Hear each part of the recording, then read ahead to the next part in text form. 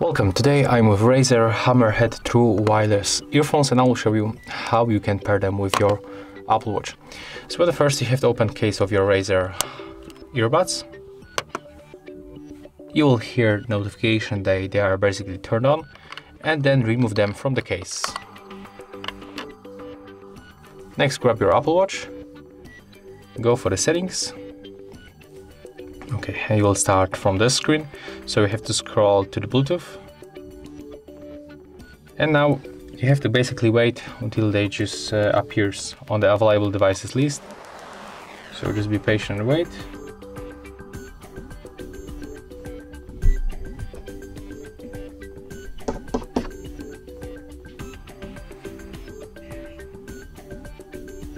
Okay, as you can see right now, they appear on the list, so just tap on them once